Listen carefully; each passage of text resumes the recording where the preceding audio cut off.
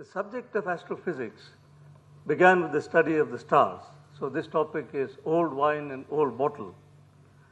Besides, there are a number of people in this room I can see who are more qualified to give this talk. I claim neither originality nor special expertise. I have organized this discussion into two parts. In the second lecture, I shall discuss some of the key ideas concerning neutron stars and black holes, including some which are very much in the news. In the spirit of some of the earlier lectures in this series, I shall not be technical. My objective would be the following. Extraordinary as it may sound, progress in understanding celestial objects was intimately linked with certain key developments in quantum physics. Not only these developments, but also the subject of stellar astrophysics is now standard textbook material. Then why pick on this topic? Well, it is my view that in a series uh, uh, such as this, it would be worthwhile to retrace the history of the development of some of the early ideas. But to appreciate the extraordinarily prescient ideas, one must transform oneself back in time to the early part of the 20th century, otherwise, everything will appear self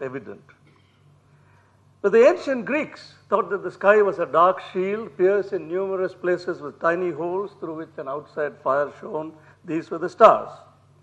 For many centuries after that, the nature of the stars did not attract much attention at all. It is interesting that even Galileo did not ponder about this very much. Around the time of Newton, a philosophical question that was much talked about was the following Is our sun a star? Characteristically, Newton dismissed this question contemptuously by asserting, of course, the sun is a star. According to him, the more relevant question was, why is our nearest star like the sun? It was typical of Newton's imperious attitude in science. But the philosophical school of thought that prevailed in subsequent uh, decades was not conducive to pursuing this question. The positivist philosophers who prevailed very much in, uh, in the Western world According to them, it was in the nature of things that one will never know what the stars were.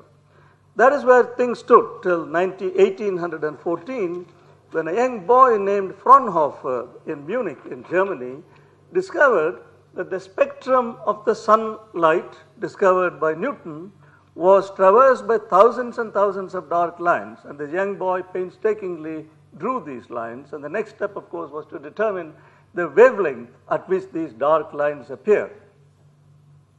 The explanation of these spectral lines came in 1849 when Kirchhoff in Germany and Stokes in Cambridge argued that these dark lines in the solar spectrum arose due to the absorption of the continuum radiation from the interior of the sun by atoms which are present in the diffuse atmosphere of the sun.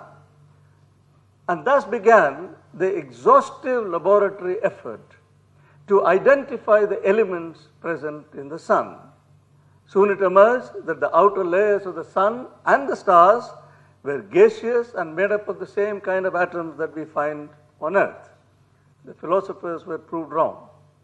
If this wasn't enough, a new element was found in the sun during a famous solar eclipse of 1868 this discovery was made not far from here in Guntur in Andhra Pradesh by a team led by the astronomer royal, Sir Norman Lockyer.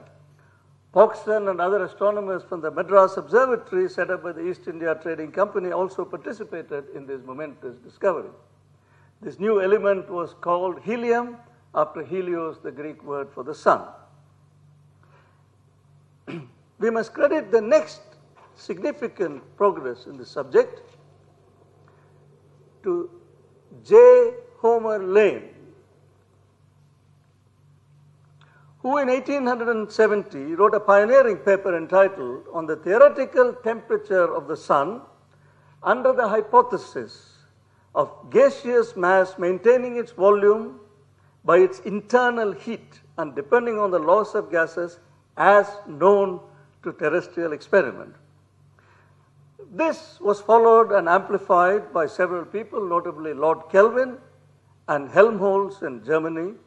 And the basic idea is that the sun and the stars are gaseous blobs held together by their self-gravity. The gravitational pressure is balanced by the pressure of uh, gas and the assertion was that this pressure of the gas was to be calculated according to the ideal gas law, popularly known as Boyle's law. To remind you, the pressure of an ideal gas, according to Charles and Boyle, depends upon its temperature and density. Now, the differential equations that Lane uh, wrote down, uh, which was satisfied by the density and temperature as a function of the radius inside the star, were two principles, one of mechanical equilibrium and the other of thermal equilibrium. The principle of mechanical equilibrium asserted that the pressure at any point, internal point in the star, must be just sufficient to support the weight of the layers sitting above it. And the principle of thermal equilibrium of the star required that the temperature distribution inside the star is capable of maintaining itself automatically notwithstanding the continuous transfer of heat from the center to the surface of the star. Now, this simple theory, which is given by that one simple equation, the principle of hydrostatic equilibrium, uh, predicts the following.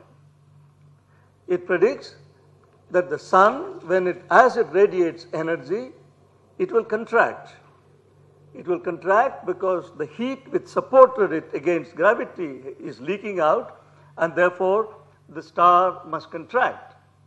And curiously, as the star contracts, it will get hotter. The point is that the heat generated by the falling in of the material must be sufficient not only to replace the heat which is being lost by the star, but to raise the internal temperature to a higher value than it was before, this will be required because gravity is stronger in a smaller star. Therefore, you have this very paradoxical result that as the star radiates, it will in fact get hotter and not colder. The major problems confronting this very simple but very elegant theory of the stars were following. In Lane's time, there was no evidence whatsoever that any star existed for which the perfect gas, uh, theory of perfect gas could be applied. Remember that the spectral lines discovered by Fraunhofer and exploited by Kirchhoff and Stokes merely demanded that the outer layers of the sun be gaseous. The mean density of the sun is 1.4 grams per cubic centimeter, which is more than the density of water. And long before we reach this density, we know that terrestrial gases cease to obey Boyle's law. And at the same time, at the time of Homer, I mean uh, Lane, there was no reason to doubt that the mean density of the sun was not typical of the star. So there was a serious problem here. The second problem concerned the source of the energy of the sun. Lord Kelvin and Helmholtz asserted that the sun maintains its heat by continuously shrinking. As the sun shrinks, the gravitational potential energy release is converted to heat. This was their very simple uh, idea. While this was a very simple and elegant idea, there was a serious difficulty with this. And to understand this, let us make a small digression. One can estimate the stored thermal energy inside the sun sitting here in this room using a very powerful theorem in physics known as the Virial theorem. This theorem in this form was first derived by the great mathematician Poincare and by Sir Arthur Eddington. And this theorem says that the stored thermal energy of the star is equal to minus one half the gravitational potential energy. Minus because the gravitational potential energy itself is negative, so to get the sign you have to put a minus sign. Now, the gravitational potential energy of a spherical object of mass m and radius r is gm squared over r. And the thermal energy of n particles at a temperature T is 3 halves nkt according to Maxwell's distribution. And therefore, equating the two, you can immediately derive that the mean temperature of the sun is a million degrees. If you are slightly more sophisticated, you would estimate that the temperature at the center of the sun will be about 10 to 15 million Kelvin. Now, You can ask, now that I know how much money I have in the bank and what is the rate at which I'm spending this money, I can estimate how much the money will last. So this stored thermal energy of the sun being radiated at a rate of 4 times 10 to the 33 ergs per second, which is the luminosity of the sun, will last only for 10 million years. But the geologists and the biologists, already at the time of Lord Kelvin, were very much bothered by this. But Lord Kelvin assured them that they must confine the outlines of history to this period of 10 million years. But as Eddington put it, Kelvin's date of creation was treated with no more respect than Archbishop Ussher's. Now, the discovery of radioactivity at the turn of the last century and its immediate use for dating rocks and fossils soon gave a precise estimate for the age of the earth of 3 billion years or so. This led people to conclude that the sun must have been shining with the present luminosity not for 10 million years, but something like 10 billion years. So here we see the first example of an important discovery in physics, namely that of radioactivity immediately being applied to in, a, in, a, in an astronomical context. The resolution of this problem had to wait till 1920 when Sir Arthur Eddington in Cambridge made a dramatic announcement Now, this is all very well known. Eddington said that sun radiates because it converts hydrogen to helium. It is found even in 8th standard textbooks, even in India. But when the idea was advanced by Eddington, it was one of the most precious state, uh, statement, prescient statements in all of science. He announced it on the 24th of August in 1920, and according to Chandrasekhar, Eddington's address contains, and I quote, some of the most precious, prescient statements in all of astronomical literature, and therefore I shall quote Eddington extensively.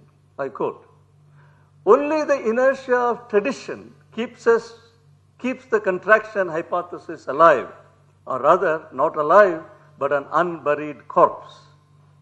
But if we decide to inter the corpse, let us frankly recognize the position in which we are left. A star is drawing on a vast reservoir of energy by means unknown to us. This reservoir can scarcely be other than the subatomic energy, which it is known exists abundantly in all matter. We sometimes dream that man will one day learn how to release it and use it for his service. The store is well nigh inexhaustible. If only it could be tapped. There is sufficient energy in the sun to maintain its output of heat for 15 billion years. Aston has further shown conclusively that the mass of the helium atom is even less than the sum of the masses of four hydrogen atoms which enter into it. And in this, at any rate, the chemists agree with him.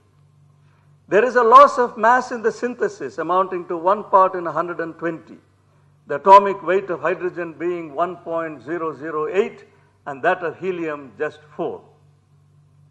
Now mass cannot be annihilated and this deficit can only represent the mass of electrical energy set free in the transmutation. We can therefore at once calculate the quantity of energy liberated when helium is made out of hydrogen. If 5% of a star's mass consists initially of hydrogen, which are gradually being combined to form more complex elements, the total heat liberated will more than suffice for our demands and we need to look no further for the source of stars' energy. If indeed the subatomic energy in the stars is being freely used to maintain their great furnaces, it seems to bring a little nearer to fulfillment our dream of controlling this latent power for the well-being of human race or for its suicide. 1920 to me, this is one of the most spectacular predictions in the entire history of physics. One should remember that when this assertion was made by Eddington, the indication from Rutherford's laboratory was very tentative. Please remember that a helium nucleus does not consist of four protons. It consists of two protons and two neutrons. The neutron was to be discovered only in 1932, and the Eddington's uh, assertion was in 1920. But Eddington's ideas were not well received. Of course, it wasn't well received. So let me quote Eddington again. I am not referring to the alleged transmutation of hydrogen to helium in the laboratory. Those whose authority I accept are not convinced by these experiments. To my mind, the existence of helium is the best evidence we could desire of the possibility of the formation of helium.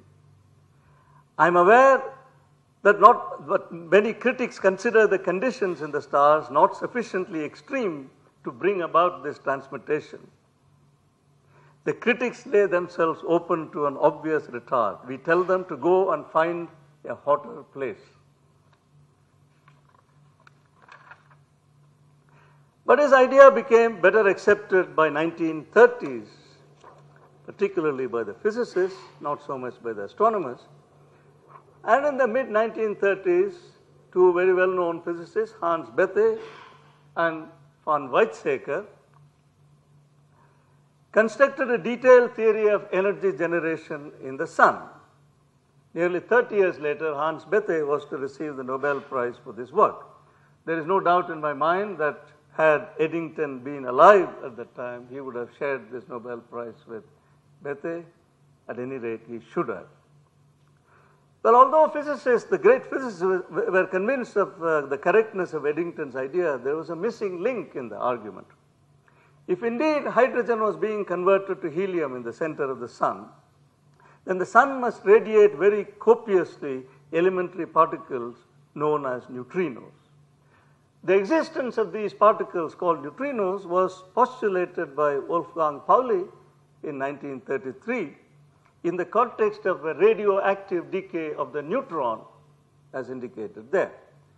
In the present context, we are not talking about the decay of the neutron, we are talking about the reaction where a proton and electron combine to form a neutron, but nevertheless in this process also this mysterious particle neutrino appears. These particles, neutrinos, are thought to be massless particles.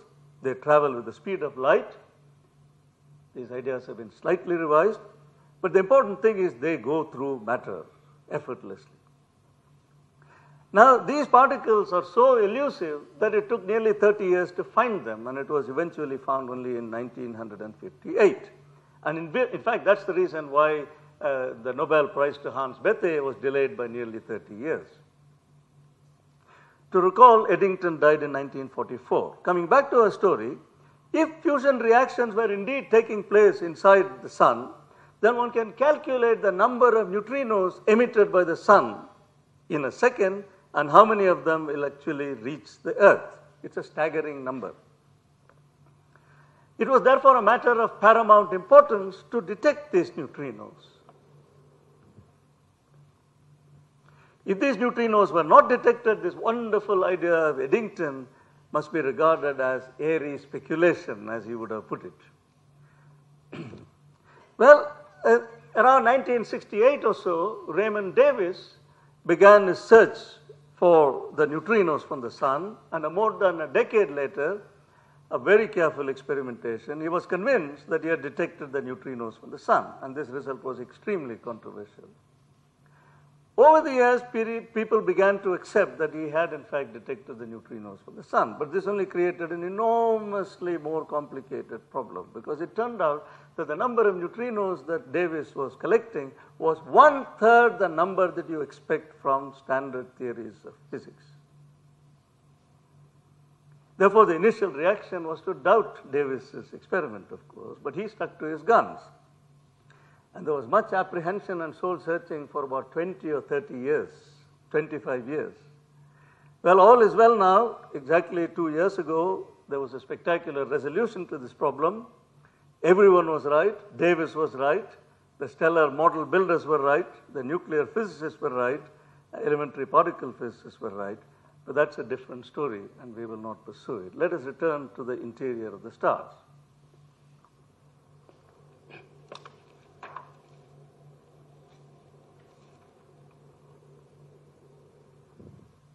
Having settled, at least in his mind, the source of heat in the sun, Eddington drastically changed the ideas of Lane, Kelvin, and Helmholtz. In the earlier theory, which I had indicated before, it was supposed that the heat was transported from the center to the surface by convection, and the sun was continuously stirred up like the lower part of the Earth's atmosphere. In fact, it was an application of the theory of Earth's atmosphere due to Lord Kelvin to the stellar problem. Eddington abandoned this and he introduced the idea of radiative equilibrium. Looking back, this was a truly monumental step. The basic notion in radiative uh, equilibrium is that heat in fact is transmitted, transferred by radiation itself and the temperature distribution is controlled by the flow of radiation and not by the flow of matter. Now a key ingredient that Eddington introduced into the theory of the stars is the role of radiation pressure, an idea that had come into physics in the second half of the 19th century. In the earlier theories, which I indicated before, the inward pull of gravity was balanced by the pressure of an ideal gas. What Eddington said was that the pressure that balances gravity is the sum of the pressure due to the gas and the pressure due to the radiation. Now, radiation pressure in the domain of our experience is incredibly small and one needs very delicate instruments to demonstrate radiation power, uh, pressure. But please remember that radiation pressure is proportional to the fourth power of the temperature and given that the interior temperature of the sun is many millions of degrees, radiation pressure is by no means negligible. To illustrate, shown at the bottom, at a temperature of million degrees, the radiation pressure is 2500 atmospheres and at a temperature of 10 million degrees, radiation pressure is 25 million atmospheres. Now, if the pressure is partly due to material particles and partly due to ether waves, as it used to be called those days, so is the source of heat partly material and partly ethereal.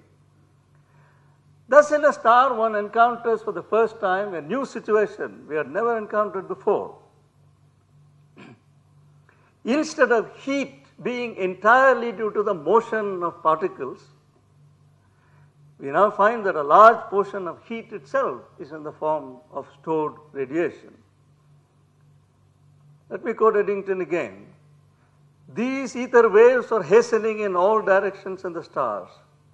They are encased by the material as in a sieve, which prevents them from leaking into outer space except at a slow rate.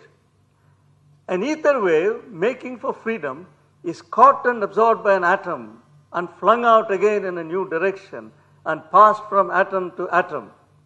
It will thread the maze for hundreds of years until by accident it finds itself at the confines of the star, free now to travel through space indefinitely or until it reaches some distant world and perchance entering the eye of an astronomer makes known to him that a star is shining. What wonderful. This is not popular literature. This is his book. What absolutely marvelous how he writes. Okay. Now, this le- leakage of radiation from the center to the surface of the star takes many hundreds of thousands of years, 500,000 years.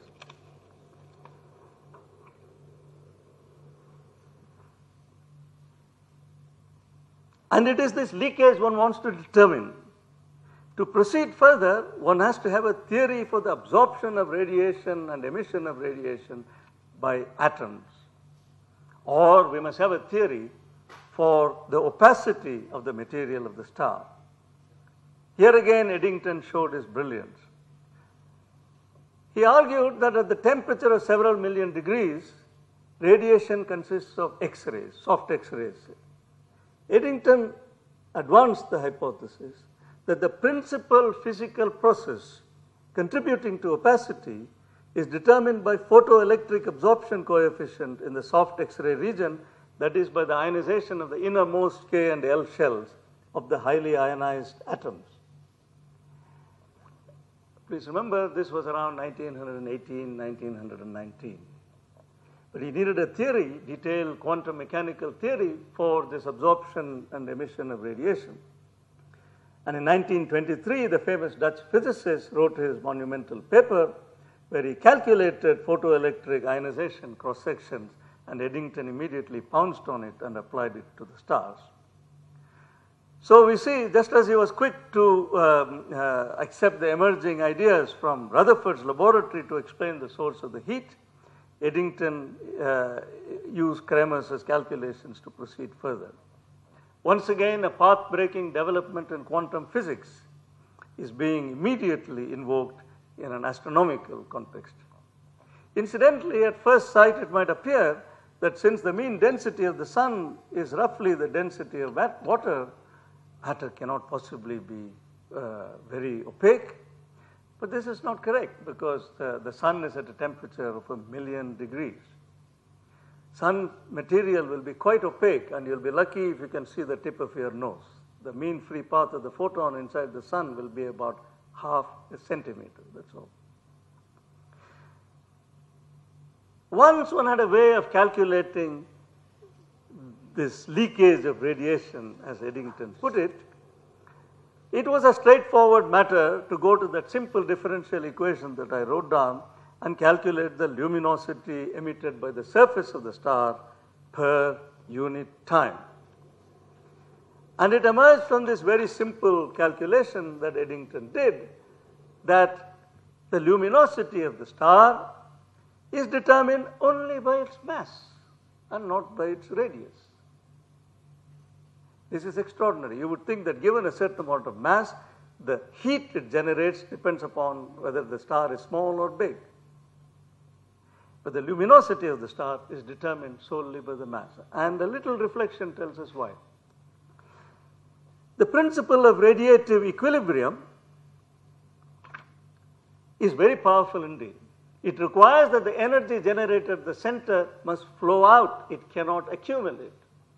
And given a rate of energy generation and opacity of the stellar material, the star will adjust itself to precisely that radius such that the energy radiated by the surface per unit time precisely equals the energy generated at the center per unit time. This is absolutely magical. The second interesting result to emerge from this theory is that the luminosity of a star is proportional to the cube of the mass. Therefore, a star 10 times the mass of the sun uh, radiates 1000 times the energy of the sun per unit time. Now, a comparison of this theory with observation from one of the very early papers is shown in this figure. And the solid curve is the theory that I have outlined, and the points are the uh, observational points. The y-axis is the luminosity of a star and x-axis is the mass of the star. At the extreme left is about one-sixth the mass of the sun and the sun is indicated by the point 0.0 on the x-axis. On the extreme right of the figure you have a star which is 30 times the mass of the sun. I'm sure you will all agree that this very simple theory is spectacularly successful. But there is a cause for worry, very, very serious worry. Because as Eddington put it, we have compared the theory with the wrong stars. Let us recall that the theory we have developed is for a perfect gas. I already remarked that the density of the sun is 1.4 grams per cubic centimeter. Star Kruger 60 here is denser than iron. And most of the stars on the left of the diagram have densities of terrestrial solids and liquids. Surely they cannot be gaseous. But what about the stars on the right? Well, they are certainly diffuse. The mean density of the stars over here is the density of the uh, air in this room. So there is no problem with these stars. But certainly all the stars on the left, they are the wrong stars. We are comparing the theory with the wrong stars. Now, while on this topic, let me mention another controversy that was looming at this time, and that concerns the nature of giant stars Albert Michelson had measured the diameters of some of the stars. The star Betelgeuse, for example, has a radius of 250 million kilometers compared to 1 million kilometers for the radius of the sun. So even if Betelgeuse is 100 times more massive than the sun, its density would be a million times less. It would have to be a million times less than that of the sun. And listen to Eddington's argument, absolutely marvelous. He says, if a star of such a huge radius had the density of the sun, then the force of gravity would be so great that light would be unable to escape from it. The redshift to the spectral lines would be so great that the spectrum would be shifted out of existence. The mass would produce so much curvature of space-time around the star that space itself will close up around the star, leaving us outside, that is, nowhere. I quote Eddington.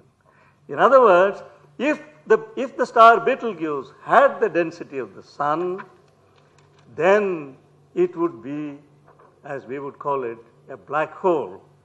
And before you read that, let me tell what Eddington said. Lest this argument should be regarded by our more conservative readers as ultra modern, we hasten to add that it is to be found in the writings of Laplace. Laplace, 1798 a luminous star of the same density as the Earth and whose diameter should be 250 times larger than that of the Sun would not, in consequence of its attraction, allow any of its rays to arrive at us. It is therefore possible that the largest luminous bodies in this universe may, through this cause, be invisible. Extraordinary. Eh?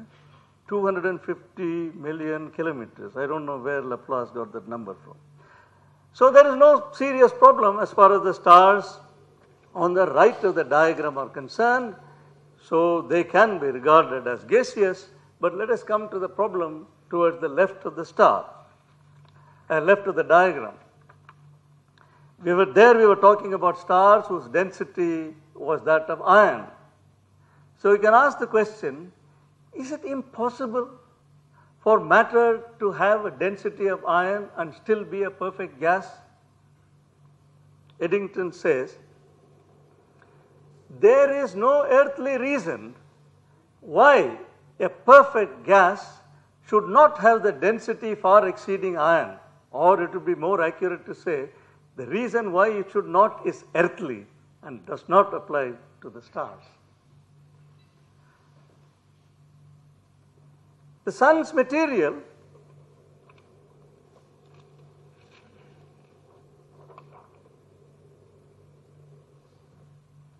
I'm continuing to quote Eddington. Sun's material, in spite of being denser than water, really is a perfect gas. It sounds incredible, but it must be so. The feature of a true gas is that there is plenty of room between the separate particles. A gas contains very little substance and a lot of emptiness. Consequently, when you squeeze it, you do not have to squeeze the substance. You just squeeze out some of the waste space. If you go on squeezing, there comes a time when you have squeezed out all the empty space. The atoms are then jammed in contact, and any further compression means squeezing the substance itself, which is quite a different proposition. In a liquid, the atoms are nearly in contact. The big terrestrial atoms, which begin to jam at the density near that of liquid state, do not exist in the stars. The stellar atoms have been trimmed down by the breaking off of the electrons. The lighter atoms are stripped to the bare nucleus of quite insignificant size. Consequently, we can go on squeezing ever so much more before these tiny atoms or ions jam in contact at the density of water or even of platinum, there is still any amount of room between the trimmed atoms and waste space remains to be squeezed out as in a perfect gas.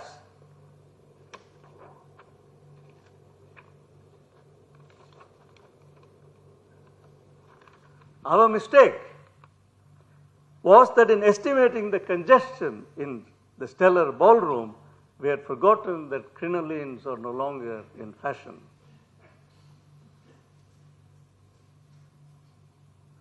And so we conclude that the stars, regardless of their mass, are indeed gaseous stars, and therefore we have not compared our theory with the wrong stars.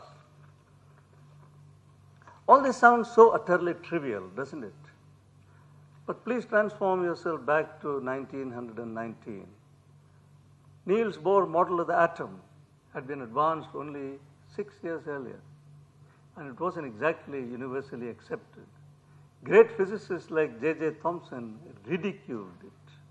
Others expressed grave reservations. It is against this backdrop that Meghnad Saha advanced his theory of ionization of atoms.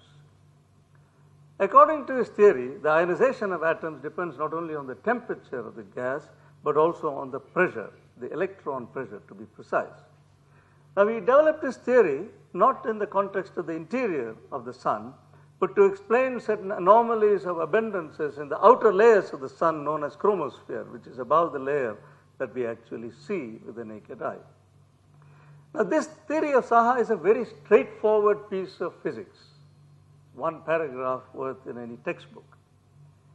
But the important thing is not its sophistication, but to appreciate that Saha took the emerging ideas from atomic physics very seriously and applied it extensively to explain major puzzles in astronomy. And his theory was very quickly improved upon by Fowler in Cambridge and Milne in Oxford and Russell in Princeton and many others, and it, it soon became a big industry. I will return to the interior of the stars, but I think I would have been remiss if in a discussion of seminal ideas concerning stars, I had not at least mentioned the important contribution of Saha. Now let us return to the main theme of our discussion.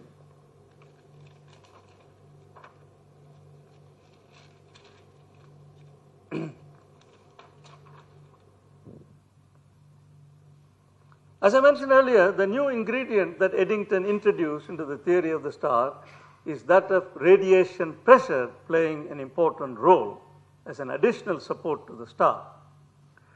The theory does not depend upon how the star generates the energy. Absolutely magical. It depends only on the mass of the star and the mean molecular weight of the material. We have already discussed how this simple theory is about is able to explain the relation between mass and luminosities of the stars. Now we turn to a different question. It is an extraordinary fact that masses of all the stars in the sky and indeed in the universe are in an incredibly narrow mass range. This is astonishing since gravitation is a force drawing matter together. After all, gravitation is able to assemble a million million solar masses into a galaxy and several thousand galaxies into a cluster of galaxies. So why are the masses of stars in an incredibly narrow range? The theory we have been discussing so far is able to explain this in a very natural fashion. I couldn't do better than once again quote from Eddington, this time from a parable of physicists who were in a cloud-bound planet. Now I'll leave this table on and I will quote. The outward flowing radiation may thus be compared to a wind blowing through the star, helping to distend it against gravity.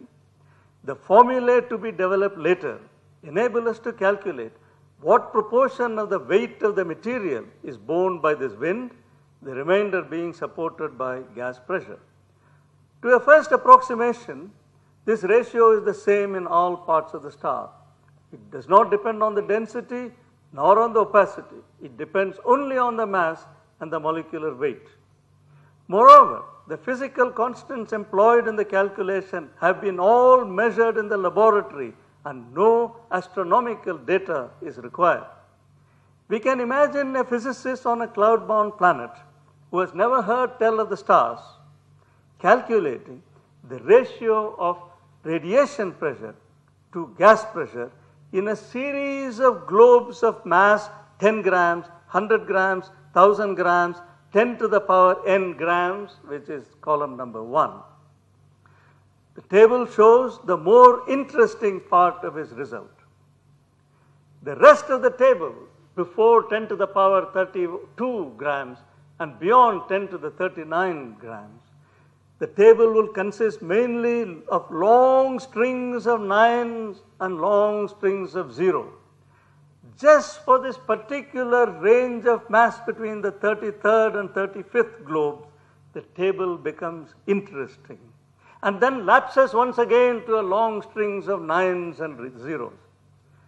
Therefore, regarded as a tussle between matter and ether, gas pressure and radiation pressure, this context is overwhelmingly one-sided except between the globes 33 and 35th where we may expect something interesting to happen. What happens is the stars. We draw aside the veil of cloud beneath which our physicist has been working and let him look up at the sky. There he will find a thousand million globes of gas, nearly all of mass between his 33rd and 35th globe, that is to say between half and 50 times the sun's mass. The lightest known star is about 3 times 10 to the 32 grams and the heaviest about 2 times 10 to the 35 grams and the majority are between 10 to the 33 and 10 to the 34 where the serious challenge of radiation pressure to compete with gas pressure is beginning. Unquote.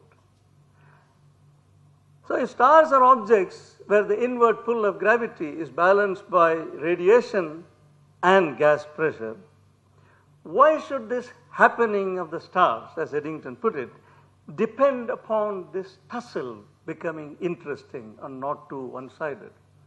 Eddington, as always, is eloquent but very obscure. So to understand this, we must turn to young Chandrasekhar, who posed this question at a more fundamental level. And many of us in this room were privileged to listen to him speak on this very topic in this very campus 25 years ago and I wish to recall for you his arguments.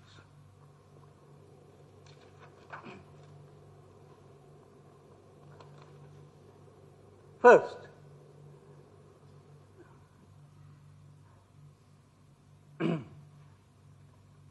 domains of natural phenomena are often circumscribed by well-defined scales and the theories concerning these natural phenomena are successful only to the extent that these scales naturally emerge in them.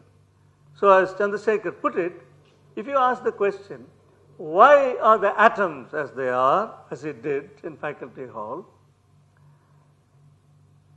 the answer, because the Bohr radius, h bar squared by me squared, provides a correct measure of their dimensions, is opposite. So in a similar vein, one can ask, why are the stars as they are? intending by such a question to seek the basic reason why the simple theory of the stars prevails. This must be because, Allah Chandrasekhar, the theory of the stars we have been discussing, there must be a natural scale of mass that emerges. And that scale of mass must be of stellar magnitude. Now, Chandrasekhar isolated this uh, uh, mass scale from this very simple theory of Eddington. To do this, one has to recall a very basic theorem concerning the mechanical equilibrium of the star. And these details don't concern us. What matter, what this, what this says is that the pressure at the center of the star, which is the center of this inequality, must be less than the pressure at the center of a star whose density everywhere is the central density must be greater than the density of a star whose density everywhere is the average density. If you think about it a little bit, if this inequality were to be violated, the star would not be in mechanical equilibrium or hydrostatic equilibrium. So this is the content of this theorem. Now Chandrasekhar used this theorem to isolate the, let us look at the right hand side of the uh, inequality, which is that the pressure at the center of the star must be less than or equal to rho to the power 4 thirds, where rho c is the pressure at the center and mass to the power 2 thirds. Now, the pressure is the sum of gas pressure and radiation pressure. There are fundamental constants that enter into that and you can juggle this inequality. It's a very elementary thing to do and you can derive an inequality for the mass of the star in terms of the rest of the things that come in the equation. And what you see is that this very simple argument has isolated a combination of fundamental constants that enter into the theory and which has the dimension of a mass. Planck's constant multiplied by velocity of light divided by Newton's gravity constant to the power 3 halves divided by the square of the mass of the hydrogen atom or the square of the mass of the proton. This particular combination of fundamental constants that enters that theory has the dimension of a mass just as h bar squared over me squared has the dimension of a length and it has its value is 29.2 solar mass. And therefore, Chandrasekhar concluded, we conclude that to the extent our theory is at the base of the equilibrium of actual stars, to that extent, the above combination of natural constants, providing a mass of proper magnitude for the measurement of stellar masses, is at the base of a physical theory of stellar structure. Stars are as they are because hc by g to the power 3 halves into 1 over square of the mass of the proton provides a correct measure for their masses. To my mind, this is an extremely beautiful and powerful argument as to why the measured masses of the stars are in the range they are. Why you cannot have a star which is one hundredth the mass of the sun, why you cannot have a star which is thousand times the mass of the sun, 10,000 million times. Why it has to be in this incredibly narrow mass range. Well, Chandrasekhar, when he discovered this, he sent a postcard to Dirac he wrote a postcard. This thing was written in a postcard and sent it to Dirac, who thought it was interesting enough. He communicated to Nature, and that is how this was published.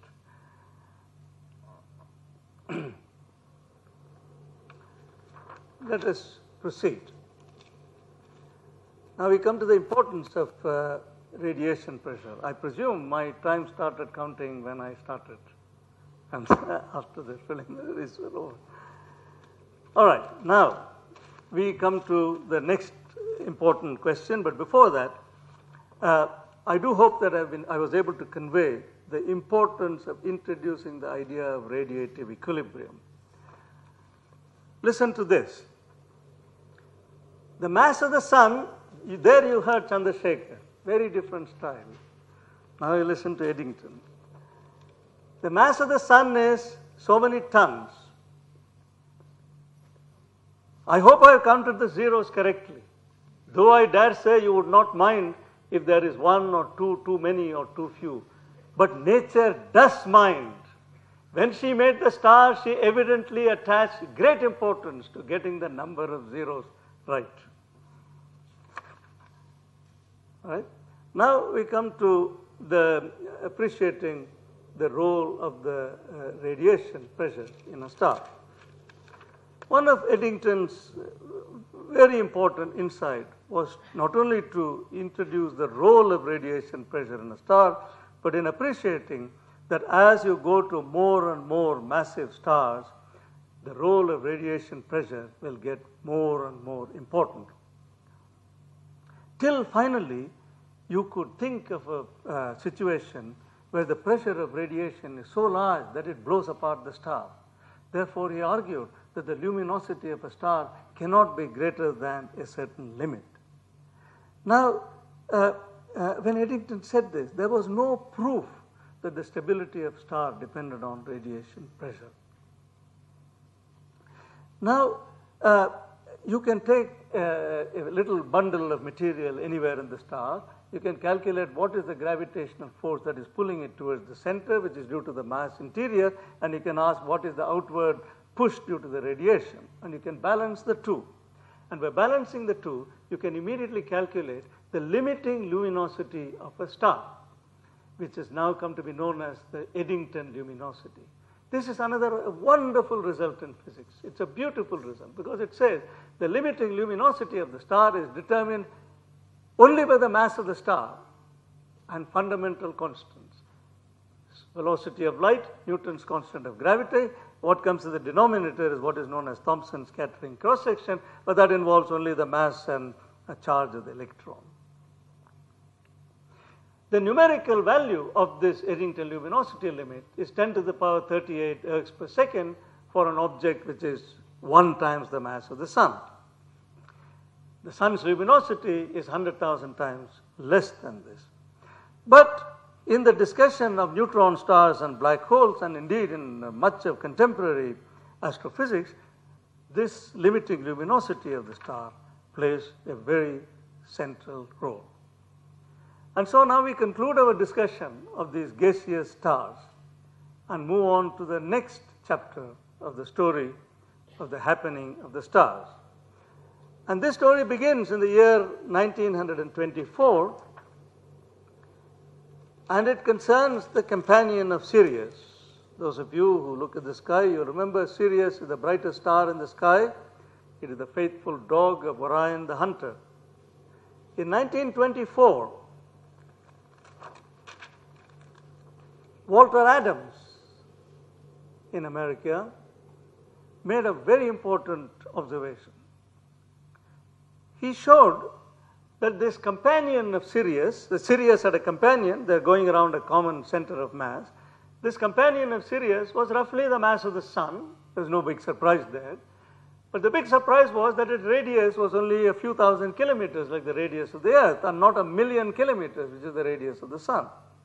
And therefore, the density, mean density of this companion of Sirius is not 1 gram per cubic centimeter, but 2000 times greater than platinum, as uh, Walter Adams put it.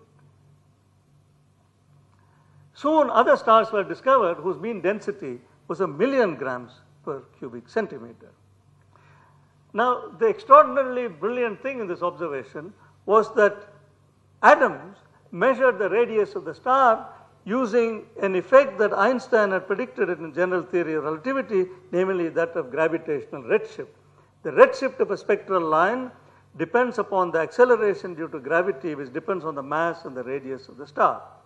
So, as Eddington put it, Professor Adams killed two birds with one stone. He verified for the first time the important prediction of Einstein's general theory of relativity and also established that a star can be 2000 times more dense than platinum. But this discovery rattled Eddington. It really rattled him. And the reason was the following. As he said, I do not see how a star which has got into this compressed condition is ever going to get out of it. It would seem that the star will be in an awkward predicament when its supply of subatomic energy fails. A star will need energy to cool well, this aphorism is really difficult to understand, isn't it? But this was stated in a more understandable language by Professor Fowler, a colleague of Eddington in, in Cambridge. Let us consider a gram of this stellar uh, material and ask what is its negative electrostatic energy, which is the energy of attraction between all the positive charges and all the negative charges.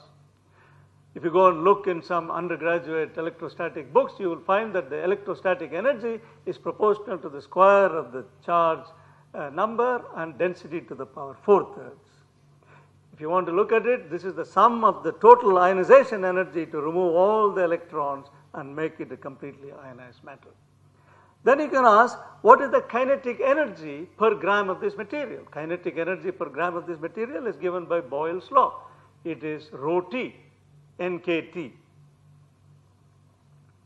Well, what Eddington meant was the following. If you take this compressed 1 gram of material from the companion of Sirius and you released it of this pressure, you can ask, will this piece of matter be able to resume its original state of normal atoms? And it can do so only if the kinetic energy is able to overcome the attractive potential energy The gas should be able to escape to recombine. But if you take these formulae and take the density and temperature that obtained in the companion of Sirius, you discover the kinetic energy is very much less than the potential energy. Therefore, the star is doomed because it has no energy to cool. In order to cool, it has to expand. In order to expand, it must have kinetic energy, and it does not have this. Now, this paradox was resolved by Fowler in 1927 in terms of the then very new statistical mechanics due to Fermi and Dirac. Now, you remember there was a statistic that S.N. Bose had discovered, which Einstein then applied to other substances like helium.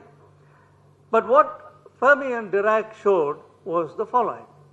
They said that if you are dealing with electrons, protons, neutrons, and particles like this, there is a new game, new rules of the game, which are determined by two of the underlying principles of quantum physics. One is Heisenberg's uncertainty principle, and the other is Pauli's exclusion principle. Heisenberg's uncertainty principle says that you cannot measure the position and the corresponding momentum of the particle with arbitrary accuracy. An immediate consequence of this uh, Heisenberg's uncertainty principle is that if I confine an electron to smaller and smaller volume, I can do so only by virtue of the electron acquiring greater and greater momentum. Now, this principle, uh, and, and Pauli's exclusion principle says that you cannot put more than one particle in a quantum state. If you are dealing with the energy eigenstate, you can put two particles if you make sure that their intrinsic angular momenta are not oriented in the same direction, but that's a matter of detail which we will not be concerned with. So if I have a collection of electrons, protons, neutrons, etc., according to this new rule, if I want to populate these energy levels of a system, particles in a box if you like, then I can't put them all in the ground state at the lowest energy because Mr. Pauli will be unhappy. So to accommodate both Pauli and Heisenberg, what you do is you put two here, you put two here, you put two here, you keep on doing this till you have run out of electrons. By that time, you would have populated the energy level to a very high value and this maximum energy up to which you would have populated a little thought tells you that it is proportional to density to the power 2 thirds. Therefore, a dense gas of electrons will have an enormous amount of kinetic energy even at absolute zero of temperature. It has an enormous amount of energy because of motion and this motion has nothing to do with heat. This motion is dictated by Heisenberg's uncertainty principle.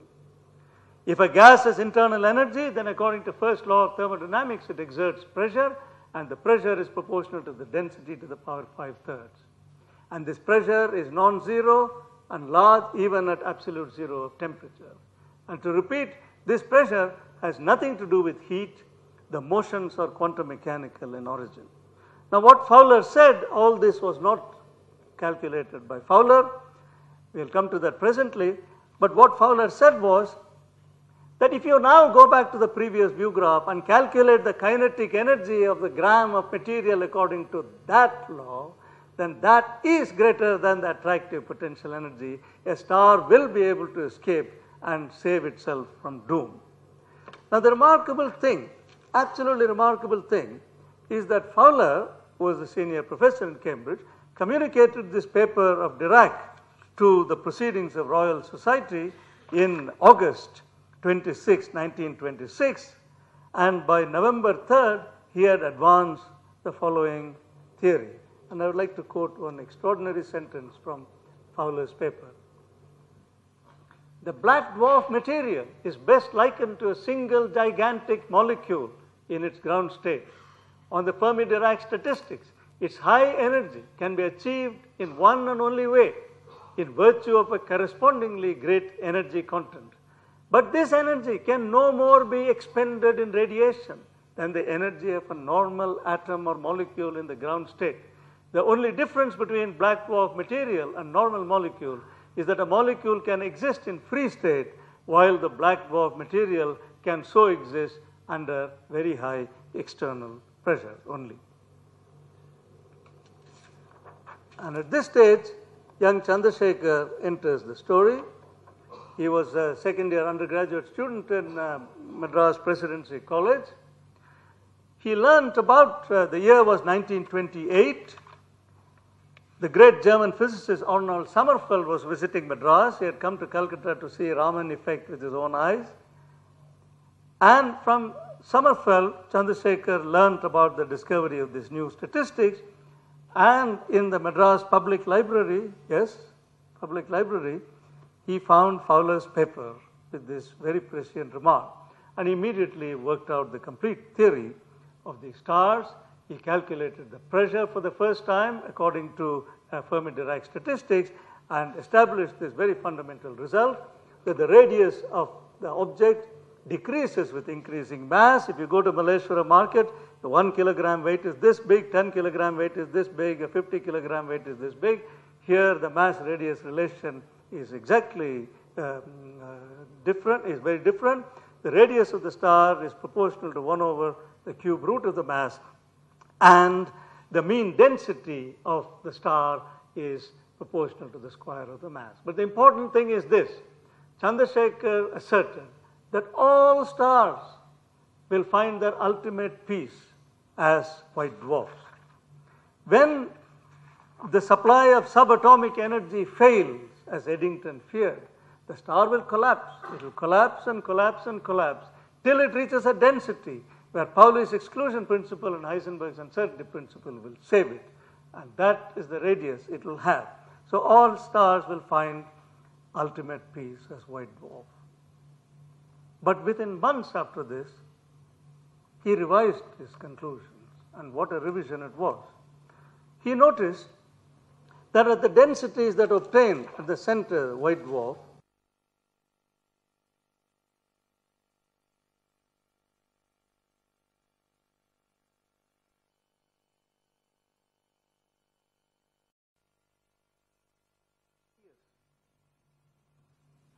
A completely relativistic star had no radius, but it had a unique mass.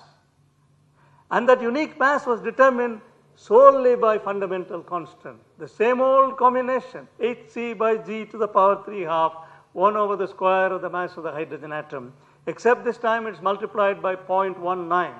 This was 29.2 multiplied by 0.19, you get 1.4 times the mass of the sun. But what does this result mean? It doesn't mean anything. Star has no radius. So you develop an exact theory where you don't make the assumption that the star either obeyed Newton's laws, energy is p squared by 2m, or, or momentum is uh, mass times velocity, or a completely relativistic star where momentum is mass times c, you do the exact theory. It is hard work those days when there were no computers, but he spent the next one and a half years doing this. And the result of this calculation, which took a couple of years to do, was that the radius of the star as the mass increased deviated from the previous theory till finally when you reach this magical mass of 1.4 solar mass, the radius of the star went to zero. The radius of the star went to zero. So he concluded his remarkable papers, and I quote two of the last sentences of two of the most famous papers. First, for all stars of mass greater than a critical mass, the perfect gas equation of state does not break down, however high the density may become, and the matter does not become degenerate. An appeal to Fermi-Dirac statistics to avoid the central singularity cannot be made. For a star of small mass, the natural white dwarf stage is an initial step towards complete extinction. A star of large mass cannot pass into the white dwarf stage, and one is left speculating on other possibilities. And it is these other possibilities that we shall discuss in the next lecture if ever there is one. Thank you very much.